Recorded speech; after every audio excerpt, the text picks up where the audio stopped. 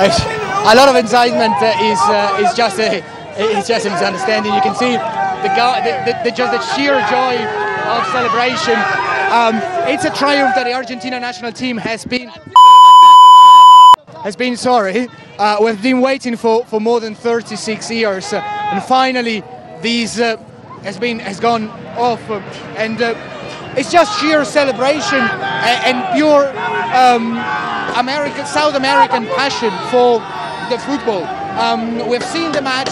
The match has gone first in the Argentinian way, then they've changed it, and France was able to go back in, but then Lionel Messi, just as you said, Fredricka, Lionel Messi, the prodigal son, the player who left Argentina when he was 13 to learn how to play football in Europe, learn how to play football at Barcelona, going back and, and giving this country a joy that has been missing for more than 36 years, uh, Fredricka.